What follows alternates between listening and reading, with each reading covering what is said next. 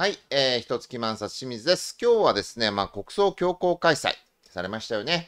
で、その国葬に関してですね、これから国葬強行開催した後に一体日本がどうなっていくのかとか、あとですね、えー、トップバッター、橋本徹さん、えー、次、三浦瑠麗さん、竹中平蔵さんあたりをですね、こう取り上げつつですね、この国葬に関してですね、今後世の中どういうふうになっていくと見ているのか、ね、えー、これをですね、ちょっとウォッチしていきたいというふうに思っております。というのもですね、橋本徹さんも三浦瑠麗さんも竹中平蔵さんもですね、こう風を読んでね、人気のある意見を言うっていう人たちなので、この人たちがどういうふうに思っているかっていうのも踏まえてですね、今後の世の中ね、どうなっていくのかっていうのをちょっとチェックしていくと、大変重要な風見鶏さんたちですからね、えー、安富さんよろしくお願いいたします。はい。いやー、これね、あのー、私は怖いですよ。ついに国葬やっちゃったよ。これよ、やめて。ついに国ほんま大丈夫なん葬か。ほんま大丈夫なんか？ね、本当に。今のところ、これ撮ってるのがまさに国葬スターチュしたですね、あのー、14時からこれ撮影していますので、あのー、何も起きないことを祈っておりますが、ね、うん。えー何も起きないとしましょう。今回何もね。何も起きずに国葬が粛々と、ね、えー進んだとしましょうんう。仮に。ね。で、なでそんな中ですね、えー三浦瑠麗さんみたいにですね、こんなこと言われるわけですよ。献花台で国葬反対を叫ぶ人たちの生中継見てますけど、発言の自由が確保されてますよね。ちゃんと民主主義じゃないですか。共産党の方が反対しているし、ね法の下の平等があるんですよ。はっはっはっは。っていうふうにですね、こう言われてですね、うん、日本は法治国家だ。仕方ないな。与党の自民党が決めたんだ、仕方ないな。うん、うんって納得できる人ってどれぐらいいるんでしょうか？どう思いますか、安富さん？うんこの、なんていうか、この、三浦さんの芸風怖いな。いや、正直、あの、あの、大丈夫なのかなって心配になってきました、最近。うん、ちょっと怖いな、この芸風。最近特になんか、あの、この、ツンと鼻が膨らんでさ、うん。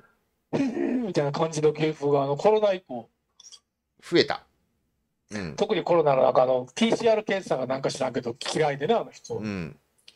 で、島根県でなんか600人ぐらい検査したら全員陰性でしたって言ったら、無駄だったってことですよね、みたいな。うん。いやー、これあたりか、らですね、エンジンがかかってきて、なんかね、要するに、いや、国葬というものが、えーうん閣議決定で法的根拠がなく突き進められているわけですよね。で、うん現在、真っ先、えーやってる最中なんですけども、何も起きないことを願いますが、それに対して、法的根拠がないものをに反対している人たちに対してですね、あの、お前らだって発言の自由、認められてるやん。よかったね。っていうふうに、これはちょっとね、すごいね。しかもなんか共産党と決めつけてるけどさ、なんで共産党じゃないからみんな。なんで共産党なんですか？あだからそのそういうことやったら全部共産党っていうのは、これあの、統一教会と同じ理屈で、いや、すごいね。これ。これで勝共連合やったんか？いやー、恐ろしい。恐ろしい。怖いな恐ろしい。この後に及んでこっちにアクセル踏むのはさ、うん。風見鶏としてはちょっとね、か風見。鳥としてはですね、これ危険でございます。はい。なんかちょっと違う鳥やったよね、この人な。そうですね。そうですね。はい。しゃあないよね、やっぱあの、清水さんが呼んだあの、ああ、もうやめてやめてやめてやめて、もう、三浦さんのあの、本を、私、自伝を読みましたけども、その語り、語れなくなってたん。だ。あの三浦さんは思春期の頃に集団レイピーピーピー。うっうっ。あんな傷を負っていたらまともに考えるのは厳しいと思うんですけどまあさておきですね。えー、皆さんちょっと質問があります。もうお母さんに言えなかったと。はいそうです。もういいっちゅう。うわ自分で読んでから言って安富さん。これ読みたくないんやけど清水さん読んでうわそうなんひえーとかっつってそういうこと言うとあかんもん。本当に。私も読みたくないとかって言ってて、あなたも読め。俺にだけ読ませるな。本当に。死ぬ。ねえ。じゃあ読ませたらあかん、そんな人に。読んでもいないのに批判したらあかん、そんなあかんあかんあかん。もう。えー、はい、はい、ちょちょちょちょちょ、まあまあもういい、もうもういい、もういい、もういい、もういい、もういい。もうちょっと、話ずれたから、戻るよ。はい。えー皆さんにちょっと質問があります。ルイ14世と安倍晋三、どっちの方が権力ありますか？陳は国家なりのルイ14世です。はい。どっちの方が権力あると思いますか？私はどう考えてもルイ14世だと思うんですよね。でですね、はいあの、そのたった2年後にですね、ルイ16世はですね、首ちょんぱ。ギロチンです。亡くなってからたった2年なのね。何が？なんて、2代？?2 代、2代、2代、2ああ、代。だいぶ、だいぶ、だいぶ、だいぶ後よだいぶ後よね。ルイ14世、陳は国家なりが亡くなったのがに、えっ、と、1715年。えールイ16世がですね、首ちょんぱん、えー、60年後。確かじゃ。あ60年ある。ああ、60年後、ごめんなさい。60年後は戴冠式だから、えーっと、えー80年ぐらい後ですね。大体。ああ、じゃあだいぶ先やね。だいぶ先ですだいぶ先です、だいぶ先です。ただ、あの、私、どうしてもなかなかのんきな生きちゃったからね。えーただ私思うんですよ。あの当時にですね、SNS があったらどうなってたんだろうって。一瞬で飛んでたかもしれない一。瞬で吹き飛んでた。チンは国家なりとか言った瞬間、怒ったフランスの人民が、あーってやってきて終わりですよ。ねねやばい。チンは国家なうとかでつぶやいたら大炎上ですよ、もう。もうちゅうわけでですね、あの、古今東西、さまざまな帝王学というものがあります。で、権力者の皆さんがですね、あの、いろいろ気をつけていたのは、民衆は踏みつけつけすぎるとギロチンにされるから気をつけろというところでございますよ。ね、だからパンとサーカスが大事っていうふうに言ってるんですけど、あの、日本はですね、残念ながら、あの、パンがない。パンが減ってきた。ね。で、そんな中ですね、サーカス、オリンピックっていうのがあったけど、おい、お食まみれかいっていうことになってですね、で、こういう状況の中で国葬ふざけんな、しかも統一教会、韓国かよみたいなところでね、ぐつぐつぐつぐつしてるところにですね、ね。でも、反対しても発言の自由が認められてるじゃないですか。日本の 法の自由があるんですよ。法の元の平等ですよ。はっはっはっはっはっはってなったらですね、いや、怖くないのか、三浦さんは。三浦さん、ちょっとね、なんかあの、うん、バランスを欠いてる感じが。ちょっとですね、あの、私は、ぐつぐつ溜まっているマグマ。仮にうん本日国葬で何もね、ない方がいいんだけども、あの、なんか、ああったとしましょうよ。ね。ぶっちゃけみんなが望んでるのは、だろう？それで台無しになることだろう？そういうの望んでる人もいるだろう？あまりにも恐ろしすぎて私は言えませんけども。だけど、じゃあ仮に無事終わったとしましょう、国葬が。うん。国葬が。ね。で、そしたら、次の日からね、ふう終わった終わった。まあ、国葬反対してくれ、しょうがないな。今日もお仕事頑張ろう。って忘れることを自民党は期待してるわけですよ。うんうんうん。いや、俺でもこれ無理だと思うな、それは。だって、そんな風に簡単に忘れるんだったら、なんで安倍さん撃たれたの？なんで撃たれたの？なんでですか？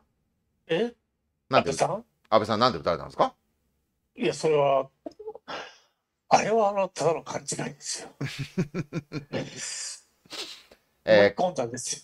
安倍さんが統一教会の応援してるというふうに思って、えーうん安倍さん、ま思いこ思い込んだ、思い込んだ。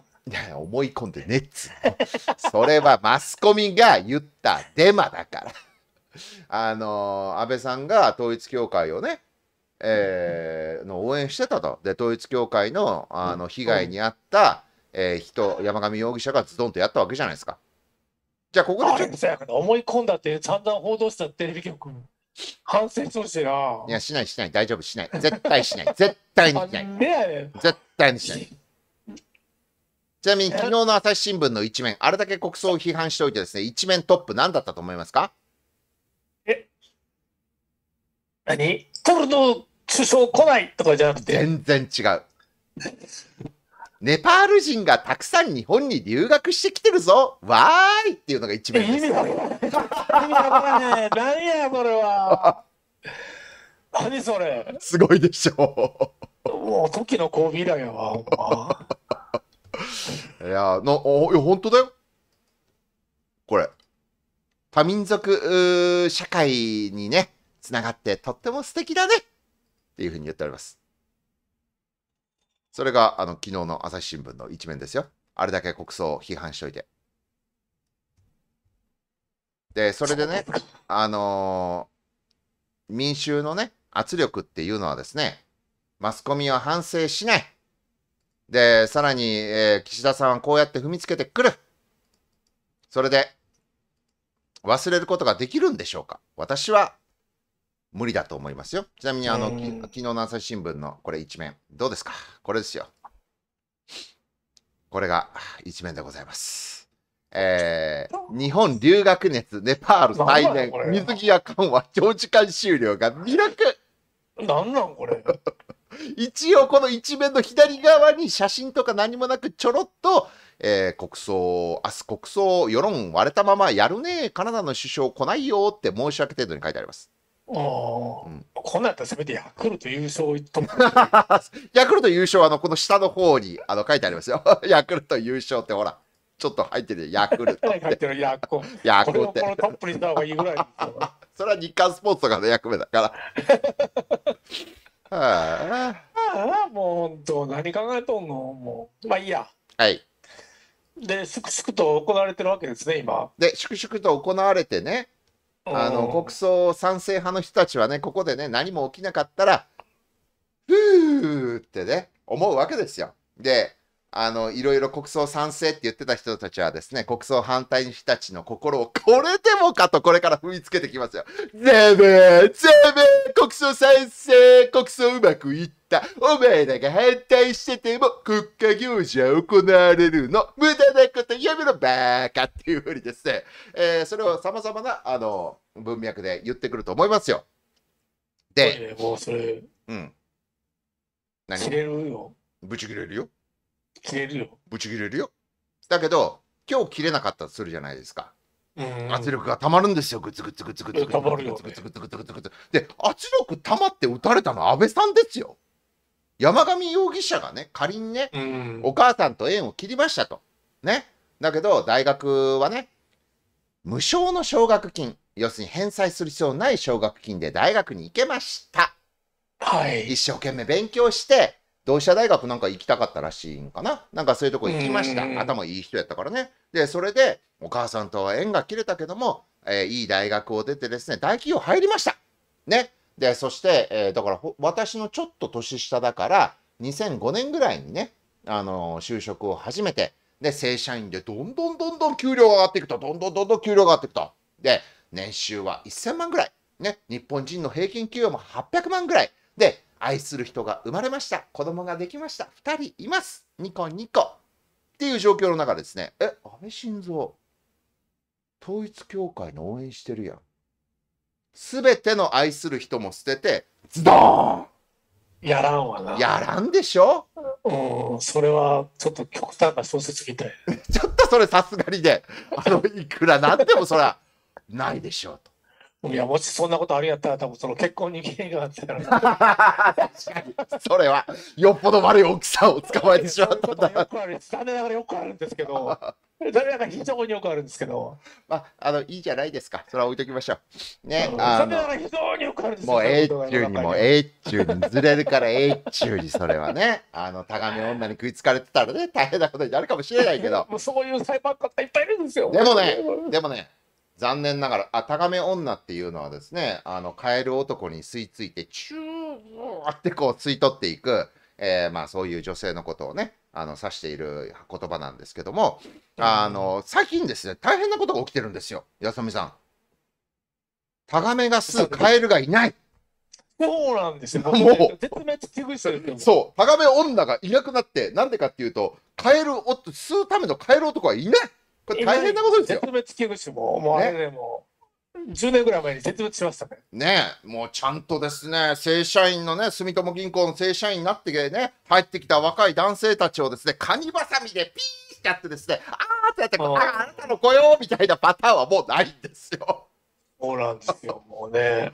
でもね、だから、あの、でもでもでもでも、タガメが絶滅危惧種になったと思ったら、タガメ女がね、あっという間に絶滅危惧種になっちゃいました。いや、これで、恐ろしいことよ。社会が、あの、不安定になって、給料が減っていっている中でですよ。ね？あの、こういう国葬みたいなのを行われたらですね、誰かまた撃たれますよ、これ、ドーンって。ああるいは分からんけあど、どこか、どこに何が吹き出すか分からんよ。えー本日ですね、秋田県警のですね、20代の男性の警察官がですね、なぜか自分で自分を撃ちました。おりゃ、なんか何が起きてるの？でと、お亡くなりになっちゃったんですよね。あらまあ、警察ってそういうところなんですよ。まあそうなんですけど、うん、そうなんですけど、いや、それでね、まあこういうのがいろいろ、あの、パンとサーカスが基本ですよ、古代ローマの頃からね。で、今何がないかっていうとですね、パンがねえんだよ。で、サーカスは、あの、残念ながらですね、うん。あの、YouTube で見といてみたいなね。あ汚職まみれだったわけですよ、あれね、うんおオリンピックで。で、まあ、えーっと、じゃあ、テレビをつけてですね、えーサーカス、ね、もう日々の貧困、辛いことを忘れられるような素晴らしい番組が溢れてますか。もう、笑える、笑える、報復絶倒みたいな。してるしてる。ん？何があんの？YouTube にあるぞ。?YouTube 何があんの？うん。一月万冊。残念ながら、一月番さん23万人しかチャンネル登録いないので、あのー、これが2300万人増えたら2300ね万。人まで増えたらだいぶガス抜き効果としてあるイメージはありますけど、23万人ではちょっとあの、なんかパンパンに膨れ上がってるのが、パッて、パッて出るぐらいですよ。ぜひ23万人まで膨らんでほしい。いや、23万人ですから、今、2300万人までね。うん1300万人。うん。なんですけど、230万人になってほしいな。いやいや、だからこれさ、だから何が起きるかっていうとですよ、ええあの、圧力がどんどん溜まっていく中ですね、うん。えっ、と、うーれ、国葬賛成、いやいや、国葬反対して、バーカとかって言ったら、怒らしたらあかんって。こんなんしたらあかんってる。だから、三浦瑠麗さんは、身の危険のためにも、こういうことを俺言う、こういうゲームやめた方がいいと思いますよ。だからちょっとね、この、この YouTube、ヤフーのさ、うん。これヤフーの今日の記事、12時のこの記事、写真が怖いんだけど、え、なんや、ヤフーの今日の記事の写真？ルリさんの。あ、これね。うん。なんかこんな感じの人やったっけ？まあ、あの、外見を言うのはかわいそうなので、いや、外見じゃなくて、この感じ。それ外見って言うんですよ。世間的には、え、ね。そうなん。外見じゃないでしょ、それは。はい。あのー言われるんですよ。はい。表情ですよ。インパクトですよう。んそれ外見って言われるんですよ。違うって、それはコミュニケーションの重要なツールです。うん、そうですね。でも外見っていうふうに言われるんですよ。で、なんで私が外見の話をですね、しすぎると良くないっていうふうに、えー言うかっていうと、ええっていうことなんですよ。今一時停止して理由を説明しました。もういいんです、いいんです。もうミラルイさんの外見を一切しないの。もう。でね、えーこれ、あの国権力側について踏まれている人たちに対してですね、ザメーっていう風な文脈。ね。これは危険になってきましたよ。だんだん。で、特に、あの、一番は自民党だよ。自民党なんかが、あのーこれ一番狙われるリスク高いよ。で、その次になんか、俺は稼いでる。稼いでないお前らは自己責任っていうふうに言ったのは竹中平蔵さんですよね。で、竹中平蔵さんはですね、なんて言ってるかっていうと、これは直近ではなくて9月7日時点でなんですけど、竹中平蔵氏、安倍首相国葬を推進。日本の歴史の中で最も長く国民から支持されたっていうふうにこのコメントを取り上げましたよね。前回。で、これさ、なんか、あの、日本の歴史の中で最も国民から長く支持されたって、もう何言ってるのか、ま、全く意味がわからないんだけども、うん。竹中さんもさ、絶対俺恐怖感じてると思うんだよね。うん。あの、わい今、今だよ、竹中さんがですね、テレビにドーンと出てきて、若者には貧しくなる自由がある。っていうふうにこう言ったらですね、これやばいー。ですよ。うんちなみに若者にはあの貧しくなる自由ってね、えーうんいどういう文脈で、えー紹介されているかっていうとですね、えーし取り上げられたのはですね東洋経済なんですようん東洋経済で、えー2012年なんですこれ取り上げてるの。はいはい。でその時にですね成功者の足を引っ張るなよっていう文脈でですね竹中さんが出てきてですねこう言っているわけなんですよね。えーこれはですね若い人に一つだけ言いたいのは皆さんには貧しくなる自由があるということだ。何もしたくなければ何もしなくて大いに結構。その代わり貧しくなるので貧しさをエンジョイしたらいい。ただ一つだけ、その時に頑張っていた成功した人の足を引っ張るなよ。怖いこと言うたんな。これ、ただですね、2012年の時は、これ許されたんですよ、文脈として。なぜかというとあの、どんどんどんどん貧しく、あの、人々がね、あの、ここまで貧しくなっているんじゃなくて、頑張ったらなんとかなるっていう希望がまだあったんですよ。私、この頃だから30代前半だから、なんとなくそれは、あの、わかります。だけど、今これ言ったらね、どうなる？皆さんには貧しくなる自由があるということだ。何もしたくないなら 何もしなくて大いに結構。その代わり貧しくなるので貧しさをエンジョイしたらいい。ただ一つだけ、その時、頑張って成功した人の足を引っ張るな。これ、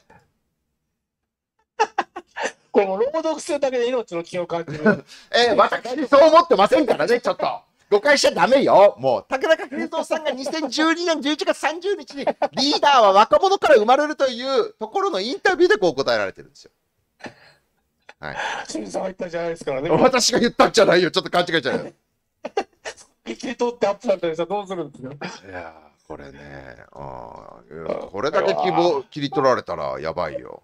いわうんいやいやいやいや、恐ろしいですね。こういうことを言うの。でもなん、一体何を考えてこんなこと言ったの？これは何を考えて言ったかというとですね、あのもう、いや、それをね、取り上げるとね、安富さんのあの金銭に触れてですね、ぜ大いに脱線するであろうと、しかしそこが本質であるというのを分かっているんですけど、尺が足らないという私の非常に大きな悩みがあるんですが、えーあえて取り上げましょう。う。脱線しない、しない、しない、しない。大丈夫、はあだけ言うから。うん。うんえーわこれかにも言ってるから、はあ いや、あったあった。これはですね、もともと、どこからリーダーが生まれてイノベーションが起きるかっていう文脈で言ってるわけですよ。は もうその時点でボカーンやろ。あ。うん。うん。で、えーね。今、慶応大学でイノベーションリーダーシップという寄付講座をやっている。そのスポンサーになってくれているのは、着メロなどを手描けるフェイスの平沢作る社長。彼はいろいろとそこから講演を依頼されるが、大人相手にやっても無駄だから講演しないと決めているそうだ。彼は自分が起業できたのは若くてリスクを感じなかったから失うものが何もないというのは素晴らしいことだ。だから若い人の前では講演をするっていうふうにこう言っているんですよね。で、そんな中でですね、あのそういう文脈の中で、えー成功したり、いろんなことするためには、まあ、あの、イノベーションを起こすためにはリスク取れよと。で、その時にリスクを取らんかったようなバカ者どもは、どうせ貧しくなるんやから、お前ら間抜けな、怠けもんやろ。後から文句言うならバーカっていうこういう文脈で言ってるわけですよ。すごいすごいね。そのもうなんか、まずあの、リスクを取ればイノベーションが起きるって言ってる時点でなんかパドゥーンって感じなんですけど、あするんですよ。もう意味がわからないんですけど、いや、なんかイノベーションとかやったことないんやろね。はい、ないです。ああ。ないです。ないんやね。ないです。で、あのあ、右から左に流してるだけやね、この人ね。言ってることとか。どっかで聞いたような話を流してるだけやからね。あのさらに言うとですね、あーあの着メロがイノベーション言うてる時点でですね、あのちょっとちょっともう竹中さん、お前経済学者って名乗るんやったらもうちょっと勉強してよって。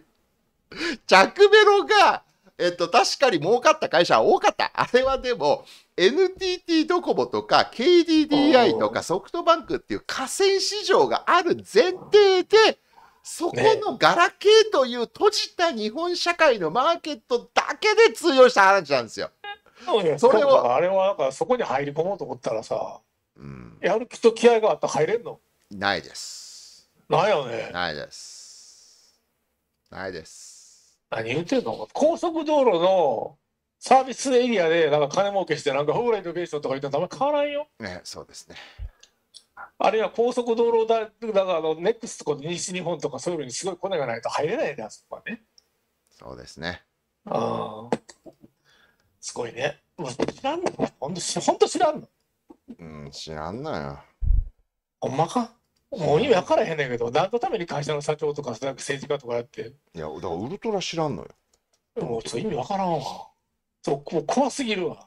そうね。怖いね。うん。ちなみにですね、えーっと、ここで登場しているフェイスという会社があるんですけども、あの、ええ着メロで確かに大儲けしましたね。1990年ぐらいに創業された会社ですよ。ね。うんうん。すごいいいね。で株価は最高値の時にですね、1万円以上つけました。うんうん。今、540円です。株買った人えらいことになるや。うんんまあ、分割してるのかどうか知らんけど、まあ、ちゅうわけでですね、この竹中平蔵さんが言っているのは、このイノベーションについてね、あの語っているわけなんですけども、えーまずそこが間違ってるという上でそういうイノベーションを起こすためには若い人たちがリスクを取れって言っていてかつその上であの挑戦せえへんかったようなやつらは怠け者だから貧乏になるぞと。でお前ら後から成功したやつ足引っ張んねよバーカっつってるわけですよ。すごくないですか？でこの芸風は危険なんですよもう。危険だね。危険なんですよ。うん。で、あのー権力側について、えー私権力の側だよ。お前たち違うよね。努力不足だね。自己責任だねっていうのはですね、ん実は、あのーあんまりね、えー皆さん知らないというふうに思うんですけども、えー2018年にですね、とある人がぐさっと刺されてですね、お亡くなりになってるんですよね。あはい。で、えーそれはですね、どういう人なのかというとですね、うん。えーっと、ちょっと待ってね。これね、あのー知らん人多いと思うんだけども、IT 講師、セミナーの人がですね、まあ、あーセミナーの最中に待ち伏せされて刺されたっていう、で、それでお亡くなりになってしまったっていう事件があったんです。これ2018年です。全く人脈もなく、あじゃあ面識もないんですよ。で、ネット上のやり取りで恨んでいたっていうふうに言ってるんですよね。うん。で、これどういうことかっていうと、犯行の動機は何なのかというとですね、えーちょっと待ってくださいね。で、この人はまず、セミナー講師の方はですね、16.5センチのこの包丁で、ぐわーってもう見るも無残な感じになっちゃったんですけども、動機が面識はないけども、ネット上でバカにされた。ね。というふうに思い込んだ。また思い込んだというキーワードが出てきましたね。ね。あのそれでね、えーこういうふうになったんですよ。でこれこれね要するにまあネット上でバカにされたどういう人なのかというとですねこれはあの確かね旧帝大出てたはずやな。国立大学。九州大学、九そうそうそうそう。州大学法学部って書いてありますね。九州大学法学部いやいや九州大学文学部。あ、文学部や。ね。で留年繰り返してねあの中退しちゃったと。ね。で、えーこの、ああ、ね、非常に恐ろしいんですけど、まあ、要するにこうこぼれ落ちてしまったわけですよ、社会の中から。で、そういう社会の中でバカにされてる人を、まあ言うてみればですね、IT のセミナー講師とか、あるいは、えー、と自己啓発の講師、あるいはコメンテーターがですね、そういうやつらは自己責任なんだよっていうふうに言うとですね、こうやってやられちゃうんですよ。で、これもう4年前でこの事件起きてます。すでに。で、こういう状況の中でですね、あのやっぱり、もう自己責任ではどうしようもないぐらい社会が苦しくなっていってる時に竹中平蔵さんみたいにお前らには貧しくなる自由があるんだなんて言ったらねそらやばいですよ今は。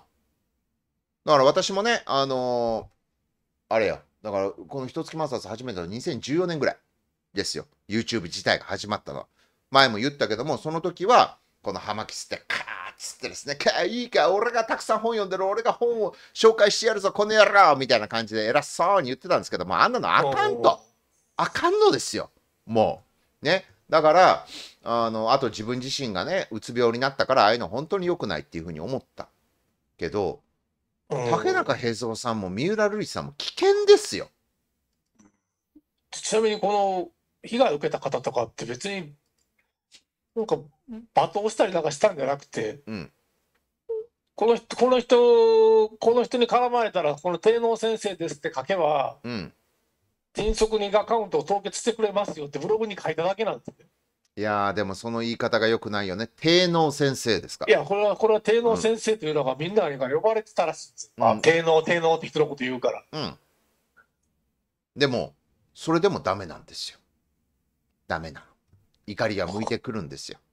恐ろしいね。それだけもう、だから世の中が、いきもう詰まってるわけよ。ぐーっいやー、それはもうえらいことやで。うんまあ、ちなみに別にね、このあの人気ブロガーの方がですね、直接、あの、お前クズだとかっていうふうに言ったんじゃないからね。ないんだよね、これね。ないんだよ。ないんだけども、そういう雰囲気が作り出されるだけで、ぐさっとやられるわけですよ。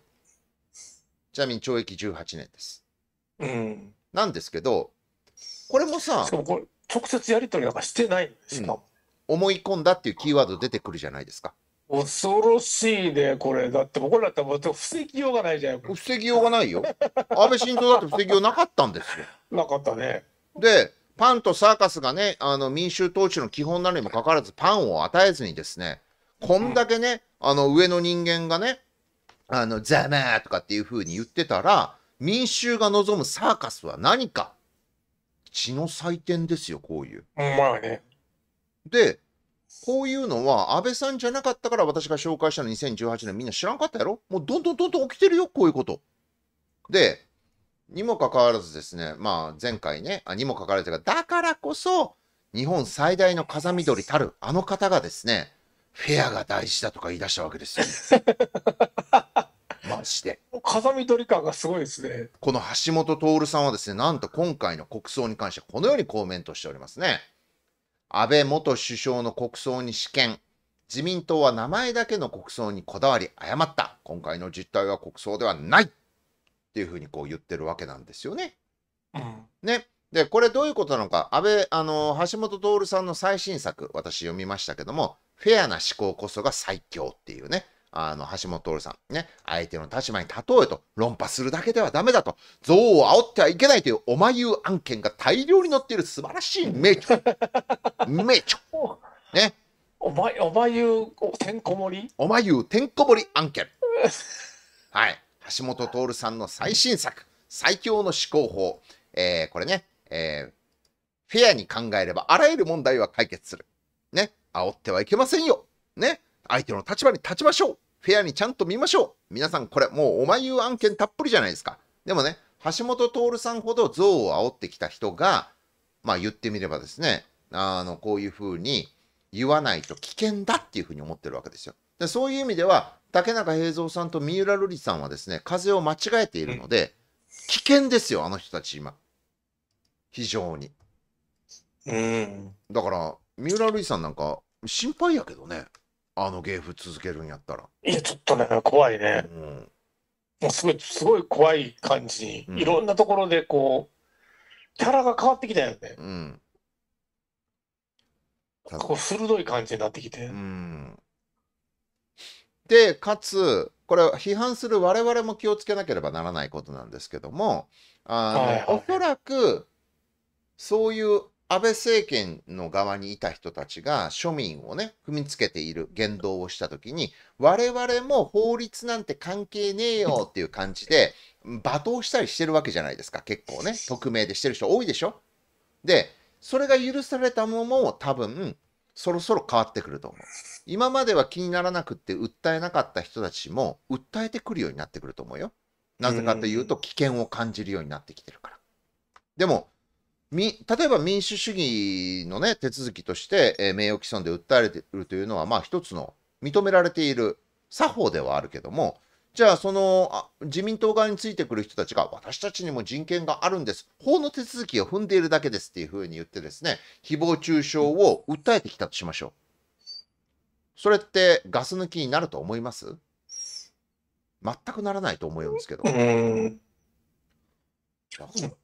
うん。ガスはなんか増殖してる感じやね。そうよ。で、それを大きくしているのが、今回の国葬の強行開催だと思うな。法律手続きがない、まあ確かにそれも問題だと思うんだけども、国が貧しくなっていした原因の人を崇め立つるっていう感じのやつ、これほどガスを貯めるものもないだろうな。うん。うん、怖いな。まあなんかね、何してるか分からんからね、これね。うん竹中平蔵さんとかもね、あの、非正規労働なんてけしからんっていう本書かないと、そろそろ。派遣労働なんてもってのほかとかっていう本をあの書かないと身が危険だと思いますけどね。まあ、今更って感じですけど。うん。はそうですか。あうん、だから、結構危険な状態に。とりあえず今のところ何か起きてない感じですね。うん。今のところは何も起きてない。よかった。は あしかし、乱闘騒ぎは起きてますけどね。乱闘？乱闘？うん。喧嘩台に来て、結果しに来たのにあの国葬反対っていうプラカード掲げてる人、えー、ほら、ふざけんな、ボケみたいなことになったああ、はいはいはいはいはいはい。うんうんうんうん。それね。うん、なかなか強烈ですよね。その乱闘騒ぎも。うん。なんで喧嘩に来てんのあんな連れんだよ、ボケ警察署乱せとか言って警察に食ってかかって入れるのがあったらしいです。うん、あ、これか。安倍元首相、会場付近で乱闘騒ぎ。ああ。なになに安倍さんに喧嘩しに来たのになんであんなやつをゲートの中に入れるんだよ。ふざけんじゃねえ。警察は他県から来ておいて何やってんだろう。などと警官に対して怒りをまくし立てた。うん。何のことかわからんな。何を言ってるのか全くわからん。うん えー始発に乗り込み一般向けの献花に4時間ほど並んだという神奈川県在住の50代男性社員は安倍元首相の遺影に向けこれだけの総理大臣はなかなか出てこない外交関係も含め日本の存在感を高めてくれたと感謝また国葬をめぐって二分化される世論については民主主義国家なので 反対のか派の方もいるし僕みたいに弔意を示す方もいると理解を示しつつあ暴れられたりするのは勘弁してほしいですねと、えーデモや抗議活動による影響を懸念した。暴れる、暴れたら、暴れたら賛成してる人の方だけどね。う ん暴れたのは賛成してる方なんですけどね。もうなんかもう意味わからんな、これ。うん。うんはあ、なんじゃこの記事はもう。なんか、まあ、ななあんまり大したことなかったってことだよね、きっと。うん。まあでも、こうやってね、社会の圧力が高まってきてますよ。うん。どんどん。で、今回何も起きひんかったら、ものすごく、あの、さらに高まることになりますよ。なりますね。はい。で、えーちょっと話、どうなるんやろね。うん。うん。いや話が何ーですか？え？話が何ですか？いや、これね、ちょっと変わるんだけども、うん。日銀介入したじゃないですか。はいはいはあっという間に戻ったじゃないですか。い。いや、当たり前やん、そんなの。当たり前やっドル円レート何、をしてんの？無駄、無駄、無駄なことあかんって。えードル円レートに介入しましたね。で、インターネット100、歴のしてたんか？ほんで、だから、ぴょーんって戻ったじゃないですか、結局。これ、これもう、日銀の人インターネット歴してっちゃうかっていう。いやー、ちょっとすごく気になりますよね。ですね。うんで、それにた直前にしてたらですね、一挙に儲かりますからね。いやーで、それに対してですね、あの黒田総裁、なんと言っているか。ね。えー財務省、政府がやったことの間にね、調整の仕組みはないんだと、俺は関係ないんだってまず言ってるわけですよ。ね。知らんよって。知らんよ。日銀やったんじゃないのね、あれうん。は。ああれは財務省ですか？だって。あの、当座預金、あー外外貨準備高持ってるの財務省と政府じゃない？はいはい、あ、そこそこそこ。うん、だからあの、俺関係ないよっていうふうにこう言ってるわけなんですけども、えいやー、でもね、ドル円レート、多分ずるずるずるずるどんどん安くなっていきますよ。で、今、日本ー、経済、180までいくんちゃう？えー今、日本経済にはですね、2つの道があります。ね？これは何なのか？1、このまんまずるずるずるずるずるずるずるずる円安がですね、続いていくわけですよ。ね、金融緩和継続で。で、えー不況がですね、じりじりじりじりき続いていて、気づいたら大不況。こちら、えー、ゆでガエルコースでございますっていうのがあるわけですよね。で、もう一個はですね、ここで一気に金融引き締め、キュッっていう風にやってですね、あの、円がちょっとだけパンって上がったと思ったら、住宅ローンも企業優勝バーンって高くなって、リーマンショック以上の大不況がボーンっていきなり来る。いや、これはもうだって、それ無理やろ。で、無理やろ選ばんやろってことは、じりじりじりじり引き金を、引き金を自分で、その引く係の人嫌や。嫌やん。それ誰でも嫌やん。こんなんね誰でも嫌やねん、それ。うん。で、黒田さんは絶対やらんよねうん。うんうんだから来年の3月、いつまでやったっけ ?3 月？うん。うん。ホラさん3月までです。までは、うんひもう今、今さら、今さら引いたりしんやろ。うん。ただもうちょ、これ公認をどうするかで決まるよね。うん。うん、公認が、お前引いてこい、はーいってやつが座ったら引くんやろうな。ん。そうやろ。うん怖いこっちゃよ、本当に。まあ、で、何が言いたいかっていうと、えーこれね、ほほっとくと、どんどんどんどん世の中苦しくなっていくわけですよ。で、どんどんどんどん世の中苦しくなっていく中で、えーさらに圧力が高まっていったら、何が起きるんやろ何が起きるん？これ。何が起きるのかね、もうそれだってさ、そうんの圧力が高まっていったら何かが起きるということで言えるけどさ、うん。その急にった時に何が起きるかもうわからなくなるよ。うん。うん。うん。何が起きる？うんまあ、とんでもないことが起きるわけですよね。まあ、確実に言えることはもう、確実に言えることは、これから企業倒産とかすごいことなんじゃないですかね。いやー、10%がゾンビ企業だと言われております。これ、ゾンビ企業って何かっていうと、えーっと、まあ、無担保、無利子の、えー、ゼロゼロおコロナ支援融資を受けているところがですね、うんうんえー金利を払うということになったら、もう返せなくて潰れるっていうところが10%です、全企業の。これ、正確に数字を言うと、大体20万社です。20万社。で、多くが中小企業です。で、中小企業が1人当たりどれだけ雇用を確保しているのかというと、まあ、これ、財務省とかの統計によるとね、日本に大体200万社あるところが3000万人の雇用を生んでるわけです。つまり1社当たり15人です。じゃあ20万人が、えー15人ずつ雇用していたとしましょうか。そうすると300万人があの失業するわけですね。うんえーじゃあこれ一体どういうことなのかというとそこで止まらないよドミノ倒しになるからね。うん。でじゃあ今の失業率っていうのが日本はだいたい2.6%とかっていうふうに言われてるわけじゃないですか。うん。でこれがですね、えー失業者がだいたい何人かっていうと完全失業者っていうまあインチキな手法ですよ。ね、えーそれでも176万人ここに300万人オンドーンってなったらですね失業率7.8%あ普通の値や。ああ、お日本もまともな国になったかなとかっていう感じになるわけですよ。ゾンビじゃなくなったなーって。で、そうするとですね、あの、パタパタパタパタパタパタって、あの、そういうところをお客さんにしていたところがですね。まず銀行やばいよね。ってなるでしょ？おじゃあそういう時にですね、ね、えーいいですか？私がね、言ってるんじゃないよ。竹中さんが言ったんだよ。2012年に言いますよ。皆さんには貧しくなる自由がある。何もしたくないなら何もしなくて大いに結構。その代わり貧しくなるので貧しさをエンジョイしたらいい。ただ一つだけ、その時頑張って成功してした人の足を引っ張るな。の派生バージョンとしてですね、仮にですね、いやー、こんなことさ、いいですか？世の中っていうのは不況と好景気っていうのはくるくるくるくるサイクルがあるんですよ。で、そんなのも歴史に学ばずに、ね、賢者は歴史に学ぶと言ったが、目の前のところばっかり浪費して、あなたは努力もせずに、貯金もしなかったんですか？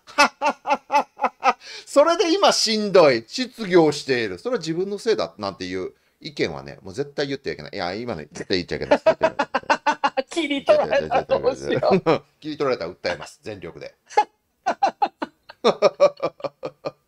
すごいね、もうなんかあの、なんかあの、あれ、ドラマ、テレビドラマみたいね。いやでもねいやでもだからねああの告白しときますけど2001年就職したしたての頃私、あはいはい。ね、そういう感じでしたよ言うとこいや、そう思ってないとやってられへんよね。やってられへんよね。頑張れないよね。就職超氷河期の時にさロス年世代より上のね当時の40代50代の人はさなんか正社員のまま守られてさお前ら頑張れみたいなこと言われてたらさくさーって思って頑張るしかないんだけどももう今はとても言えないよ努力しても報われる社会じゃないよもうこれはでじゃあみんなに正直に正直に聞きたい俺は ね、そうやって不満がね、溜まっていっている中でですね、政治家の誰かがですね、てなことになったとしましょうよ。いやいやいやいやいや。自民党の政治家が安倍さんみたいに、いやいやいやいや、ってなったら多分ね、喜ぶ人も多いんじゃないかって思うんだよね。で、それが、パンとサーカスの中でサーカスもパンも失った民衆たちが求めていく末路ですよ。だけどね、そんなことになったら絶対ダメなんですよ。これもうね、あの、北斗の剣です。それは。そんな時、もう、ありとあらゆるものが成り立たなくなってるよ。そういう状況は。じゃあ、だから、パンとサーカスを与えないとダメなんですよ。自民党は。自分たちの安全のために。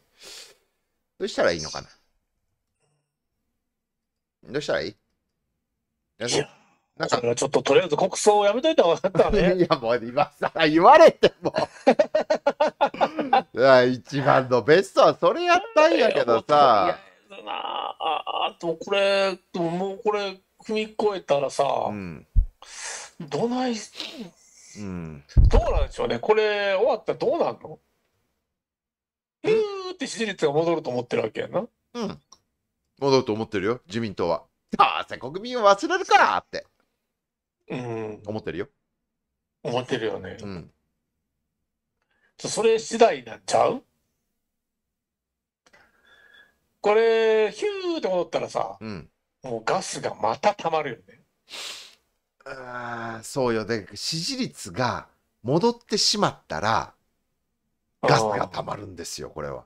溜まるよね。溜まるよ。で戻らなくて、で、また、まあ、統一教会だら、勝共連合はすぐ忘れろよと思ったら、また延々続いたらうんさ、うんさすがに自民党もですね、うん。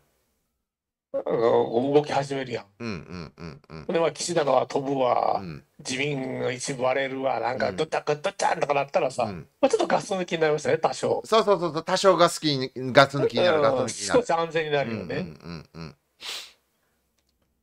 でも、ここはやっぱりあの菅義偉あたりがですね、あの なんか動いてくれないとガス抜きが昭和の延長線上ができないよ。よ。菅さんが、なんかとんでもないこと言ったら面白いんだけどな。う。んなんかね菅さんねなんかいや聞いてないからっていうぐらいですね。あの今ですね。いや俺はグループ作らないから。俺はグループ作らないから。大丈夫大丈夫。派閥とか作らないからっていうふうに。だからここだから数ヶ月やたら言ってるんですよ。なんか自分を中心にした菅グ菅グループのような派閥は作らないよ。何を言ってるんだ。これなんかシーラ怪しい。いや、お前、なんか定期的に言ってないか、お前って。菅さん、どうしたのって。なんか安倍さんが亡くなってから定期的に言ってるんですよ。菅グループは作りませんよ。菅グループは作りませんよって。お前、これなんで、なんでっていう。まあ、すごく、なんか、怪しい。怪しい。怪しいね。怪しい。なんちゃっての、なんちゃっての菅さんですから。なんちゃっての作。るのかな、やっぱり。だって、なんちゃっての菅さんって何かっていうと、安倍晋三がですね、辞任する前の日にブルーム番組でですね、辞任とかありえないよ、何を言ってるんだねっていうふうに 言ってたのが、当時の官房長官の菅義偉さんですからね。うん総理大臣とか出ないからって散々言ったしな。いやー、そうそう、私が出るわけないじゃないですか、もう、ちゃんと支えていきますよ。あ、どうも、総裁選出ますっていうふうにこうやって、もうなんだよ、お前はっていう。で、そんな菅さんがですね、いや、菅グループ作りますよ、何言ってるんですか？とかってずっと言ってるっていう。しかし、はい。何か、ん？何何かも起きませんね、今のところね。いや、起きたら怖い。怖い。あの、とりあえず、とりあえずの皆さんのガス抜きはこちらでございます。ちょっと安富さんに送りますけど。はい。はいはい。こちらです。はい。菅さんの挨拶に感動の声が広がってちげえよ。えー速報、五輪汚職、組織委員会元理事、高橋容疑者3度目の逮捕。贈収側、代行幹部も逮捕。賄賂1500万円容疑。追加、いいですか？人権蹂躙3度目の逮捕、交留でございます。いいですか？皆さん。単に容疑があるというだけで、身柄を60日間も拘束できるなんていうのは、先進国で日本だけ。これは弁護士たちからすると、ね、もう人質司法と言われているけしからん。こういう手法なんですよ。とんでもないよね。とんでもないというふうに今私が批判したとしましょう。ね。うんうん。そういうふうな、あの、法律を重んじる、人権を重んじる、ホワイト清水。今意見言いました。それではブラック清水の登場です。あ、どうもどうもブラック清水。どうもどうも皆さんどうもどうもってね。こう出てきて、こんな時に人権とか言うてどうするんだ高橋君極悪にいいじゃないか。もう100日、200日吐くまでずっと水でまでいいんだよっていうのとですね、どっちの方が、ホワイトとブラック、どっちの方がね、今民衆に受け入れられるかっていうとですね、法律だから、でもえ、ホワイトじゃないんですよ、安富さん。ホワイトじゃないんですよ、これはないんですよ。水攻めにされへんだけで、ありがたく覚えたかしっていう感じですよ。いや、高橋さん、そんなめちゃくちゃ悪いことしてるわけでもないのに。あこれ、でその、あの、あの、企業の金ちょろまかして、あの、運用したやつの方が金額大きかったりするじゃないですか。あそういうふうにね。はいはい、石井容疑者ね。あるいはだから、あの、競馬馬に突っ込むためにさ、ああ、そうね。あの、住競馬ね馬ちゃうわ、あはいはいの、競馬馬ちゃうわ、あの、馬術の馬に突っ込むためにさ、うん。あの、労働組合から金くすねたおばさんの方が金額多いんですよ。うん、だけど、パンとサーカスがないんですよ、今、民衆は。血で植えたカーニバルなんですよ、これは。だ危険ですよ、これ。いや、と言いつつ、本間さんも、一回とっ捕まった身としてですね、あの、いや、これはしょうがないかなと。ね。あの、じ再々逮捕とかありえないけど、もうこれは、人々の思いがそっち方向に行ってるから、もうこれはもうあの下手すると再々再逮捕4度目まで行くんじゃないかというふうに。何をしてんの一体、そんな長いこと交流して毎日絞ってんの？毎日毎日森喜朗が毎日毎日。僕らは鉄板の。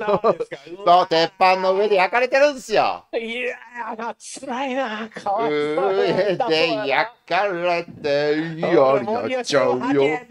そうそうそう、あげ高橋あげっつって。でも高橋さんも高橋さんってさ、森喜朗のこと入ったら多分命の危険が あるから。ね。いや、だってちなみにさ、これ私ツイートしたんですよ。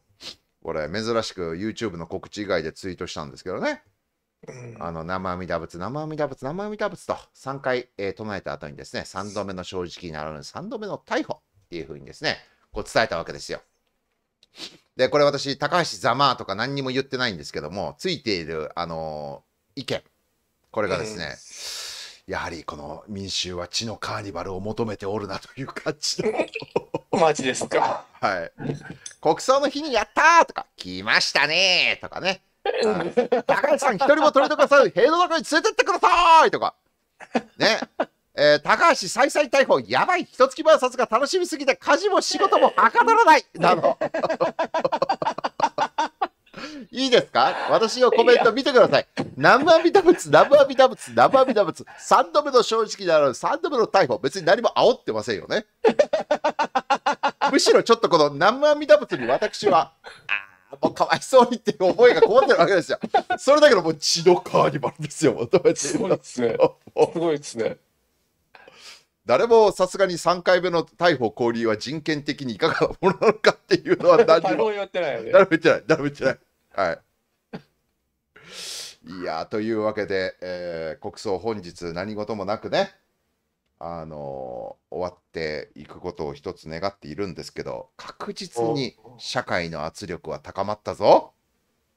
というわけで、えっと高竹中平蔵さんは貧しくなる自由があるなんていうことを言って悪かったと。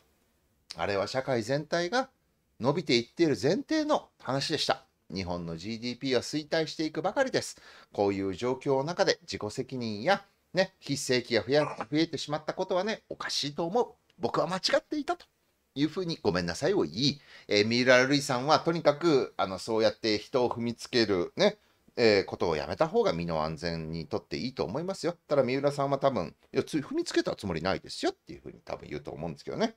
えー、だからね、その、あーまあ、その芸風、こあの福岡の事件をちょっと思い出してくださいと。全く関係ないのに支えたりするんですよ。それだけ今、人々の圧力が高まっておりますから、気をつけましょうねということで。はい。えー何を気をつけたらいいのかな？でも最後に。も南無阿弥陀仏。南無阿弥陀南無仏阿弥陀仏。南無阿弥陀阿仏弥陀仏。はい。南無もうこれが言うとあかんな、もう。でもこれがちょっと南無阿弥陀仏配信。南無阿弥陀仏南無阿弥陀仏南無阿弥陀仏配信はい。これで、これでなんかあの、新興宗教立ち上がったりして、いや親鸞系の信仰宗教あるしも あるんだよね、やばいな。ういいよそういうの。はい今日もたくさんチャンネル登録といいねよろしく。それでは